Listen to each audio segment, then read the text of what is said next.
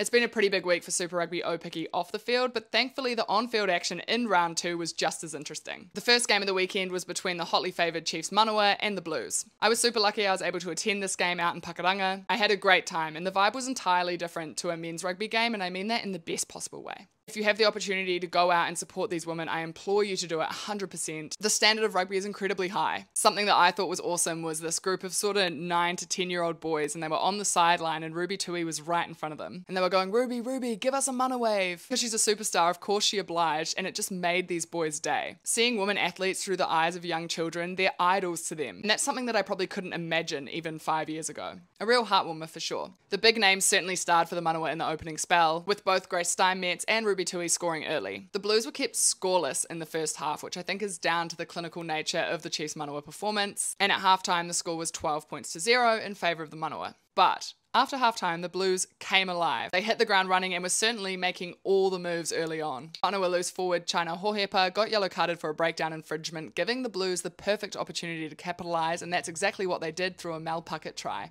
Shout out to Mel Puckett, she's been in awesome form. She was great to watch in person, darting around. The speed of her pass, hugely impressive. Now, despite the Blues making all the moves, having all the energy, and having a lot of position, the Manawa managed to dot down through former Northern Mystics netballer and turned rugby star Grace Kukutai, which swung the momentum back in favour of the Manawa, and the Blues just weren't really able to overcome that. There were a couple of last gasp attempts at the line, but they were undone by poor handling, which is really unfortunate. Manawa ultimately proved why they're this year's favourites for Super Rugby Aupiki and held out the Blues 17 points to 10. Then we travelled down to Wellington where the Hurricanes Poua were taking on Matatu. Following a challenging week off the field, the Poua certainly came out and silenced their critics, namely Deputy Prime Minister Winnie P, with a convincing victory over the defending champions. I think it's really important to note that the Poua performed a new altered haka this week, one that had been crafted in collaboration with the wider organisation. It's nice to see the players finally getting some backing from their organisation, Poua to the people. Straight out the gates, the Poua came out very strong with tries to Isabella Waterman and Monica Tongawai. It took an early lead and it stayed that way until half time, 19 points to 15. The Poua extended their lead after half time, which incited a bit of a late resurgence from Matatu. Kaipo Olsen Baker and Amy Rule led the charge for the Southern team. The Poua managed to hold on, withstand the pressure, and ultimately come out victorious, which I think was the best possible result for them after what was such a difficult week. The final score was 36 points to 29, which means that last year's victors, Matatu, are now zero wins from their first two games. It will be something they'll be looking to correct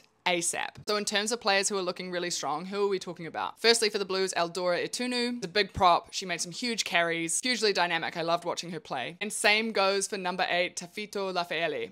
It would take sort of three defenders to bring her down. She was making some huge charges through the midfield. For the Manawa, the experienced players really showed their class this weekend. Renee Holmes and her kicking proved to be a lot of the difference. Chelsea Bremner was just all over the park. Just see her popping up here and here and here. For the Poua, Shakira Baker. Again, she would attract so many defenders, it was so hard to bring her down, and that kind of power in the midfield is invaluable. And I thought Rihanna Ferris was hugely crucial for them at the breakdown, winning turnovers, causing problems for Matatu. And looking at Matatu, Kendra Reynolds, always a strong presence in the pack, and Isabella Waterman, who managed to dot down for two tries. Looking forward to round three, we've got the Blues taking on the Poua and a rematch of last year's final, the Manawa vs Matatu. Let me know who impressed you this weekend and if you're heading out to any of the games that are happening next week.